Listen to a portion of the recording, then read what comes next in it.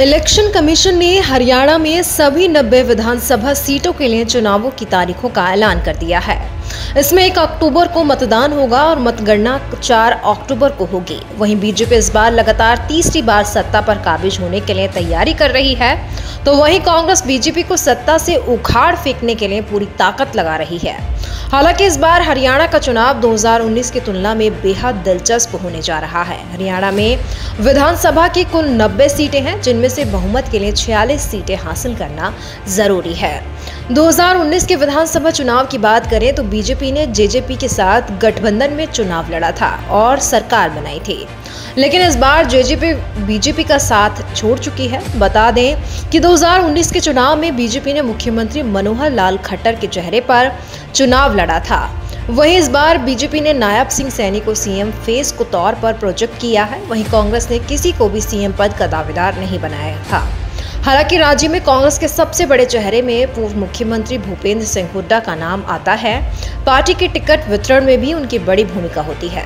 इस बार भी उनकी दावेदारी काफ़ी मज़बूत मानी जा रही है। हरियाणा में जातीय समीकरण की बात करें तो यहाँ की राजनीति में जाट बनाम गैर जाट का मुद्दा काफ़ी हावी रहता है। सभी दलों के टिकट वितरण में भी इसका असर दिखाई देता है। बता दें 2014 में जब बीजेपी ने हरियाणा में सरकार बनाई थी तो उसने मनोहर लाल खट्टर को मुख्यमंत्री बनाया था।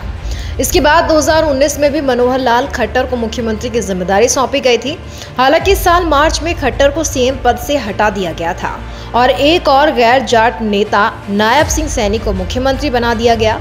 इस बार चुनाव में कांग्रेस की ओर से हुड्डा और बीजेपी की ओर से सैनिक के आमने सामने होने पर जाट बनाम गैर जाट की लड़ाई हो सकती है। 2014 के विधानसभा चुनाव में कांग्रेस को 15 सीटें, जबकि बीजेपी को सैंतालीस सीटों पर जीत हासिल हुई थी। वहीं 2019 में कांग्रेस ने बीजेपी को कड़ी टक्कर दी। इस चुनाव में कांग्रेस ने 31 और बीजेपी ने 40 सीटों हासिल की। जिसके बाद जेजेपी से मिलकर उसने सरकार बनाई।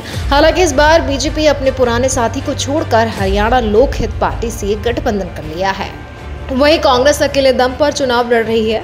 इन सबके बीच आम आदमी पार्टी भी हरियाणा विधानसभा चुनाव में ताल ठोक रही है। ऐसा माना जा रहा है कि इस बार मुकाबला बेहद ही दिलचस्प होने जा रहा है। दरअसल इलोनो इस बार अकेले चुनाव नहीं लड़ेगी, बल्कि उसने बसपा के साथ गठबंधन किया है। हालाँकि जेजेपी ने कोई ऐलान नहीं किया है, लेकिन पिछली बार अकेले चुनाव लड़कर उसने दस सीटें हासिल की थी।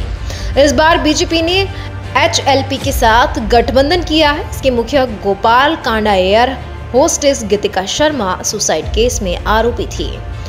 2019 में वो अपनी पार्टी से अकेले सिरसा विधानसभा सीट से विधायक चुने गए थे। इस बार उन्होंने सिरसा और रानिया सीट पर अपना दावा ठोका है। यहाँ से उन्होंने अपने भतीजे धवल कांडा को उम्मीदवार भी घोषित कर दिया है। 2019 से 2024 के बीच किसान आंदोलन एक बड़ा मुद्दा है।